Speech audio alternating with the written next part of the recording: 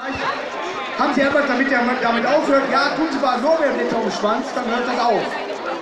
Die haben so eine natürliche Wirkung und dann hört das auf. Ja, sie versucht das nach, klappt wirklich. Sie ruft ihre beste Freundin an und sagt immer, hat, hat wirklich geklappt. Sagt sie immer, mein Mann, der schnarcht doch auch so. Vielleicht klappt das bei dem auch. Ne? Sie versucht danach, tut ein paar Lorbeerblätter drumherum. Ne? Er wacht morgens auf, guckt nach unten. Denkt, was ist das denn? Ja? Ruft seinen besten Freund an und sagt, mal, wir hatten doch gestern Kegel. Ich weiß, wir haben was gesoffen. Weißt du irgendwas von der Siegerehrung?